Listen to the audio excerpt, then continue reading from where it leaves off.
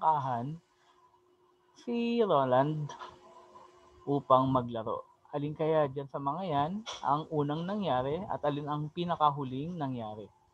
Okay. Ah, meron tayo ditong pagpipilian A, B, C at D.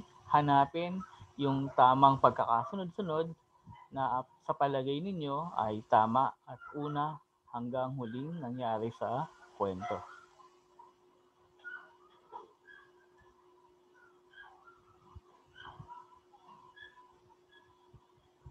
Okay, para sa gawain sa pagkatuto bilang 4, isusulat naman natin sapat lang ang angkop na tagpuan sa bawat tauhan. Okay, mga bata, meron dito mga tauhan.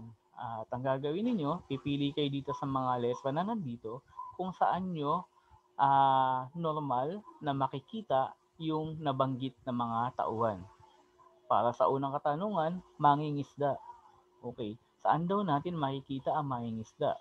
A sa bukid, B sa tabing dagat, C sa syudad. Para sa pangalawang katanungan, mga mag-aaral, saan kaya natin sila makikita? A sa ospital, B sa parke, o C sa paaralan? Magsasaka. Saan kaya natin makikita ang mga magsasaka?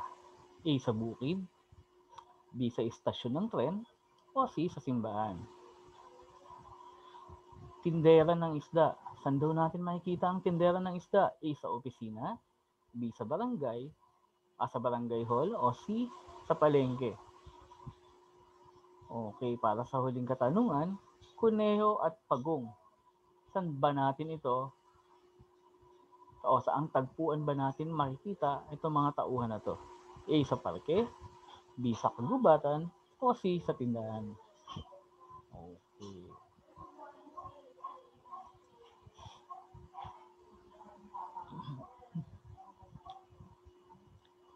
Ang mga sumusunod ay mga elemento ng kwento. Okay, tandaan nyo ito ha, mga bata, ito ay mahalaga. At ito yung pinakabuod ng ating pinag-aralan ngayon. Ang mga sumusunod ay mga elemento ng kwento. Para sa unang elemento, ito ang tauhan.